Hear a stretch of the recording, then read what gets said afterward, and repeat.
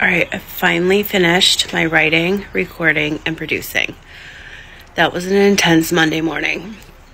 I'm now finishing my morning routines by ice rolling my face. Do you ice roll your face? This is the best one. Buy it now. There's always a wait list.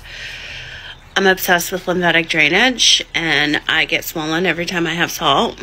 And I've been eating these matzo crackers that have sodium. Anyway, I'm going to ice roll my face.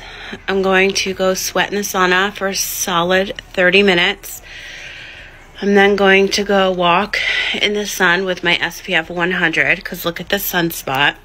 Unacceptable. I need to make that go away ASAP. But I feel like Mercury retrograde is here. It's coming. Something is happening because I'm so tired. Anyway, it's a beautiful day in San Diego and I'm still trying to figure out where to live. Just my daily life. Oh my god, this feels so fucking good. If you guys get that one on Amazon, it's not the best. This is the best. And when I had all my dental issues, I put this in hot water. So it was a hot roller.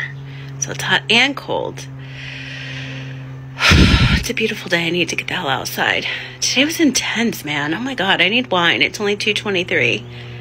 But it's five o'clock somewhere.